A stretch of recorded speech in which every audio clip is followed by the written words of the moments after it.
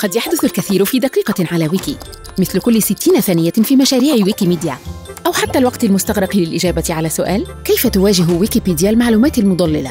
المعلومات المضللة والتي تعني المعلومات الخاطئة أو المضللة للقارئ أصبحت موضوعاً مثيراً لكل موفري المعلومات يتم تحديث ويكيبيديا 350 مرة في الدقيقة. يجب أن تطابق كل هذه التعديلات معايير الحيادية والموثوقية. ولدعم هذه المعايير طور مسؤولي ويكيبيديا أنظمة وأدوات تشمل موجزا حيا بالتعديلات حتى يتمكن المحررون من مراجعته بانتظام. برنامجا آليا يكشف السلوك السيء ويصحح الأخطاء الشائعة. أدوات مراقبة ليستخدمها المحررون الخبراء في التحقيق في التعديلات الخاطئة. وفوق كل هذا العمل اليومي الدؤوب الذي يقوم به المحررون المتطوعون والالتزام بالشفافية. على سبيل المثال يمكنكم رؤية تاريخ المقالة بالكامل منذ اللحظة التي كتبت فيها بالإضافة إلى النقاشات حول محتواها. هذا ما يسمح بعمل نظام الإشراف هذا. وهكذا تتم معالجة مسألة المعلومات المضللة في ويكيبيديا في دقيقة واحدة.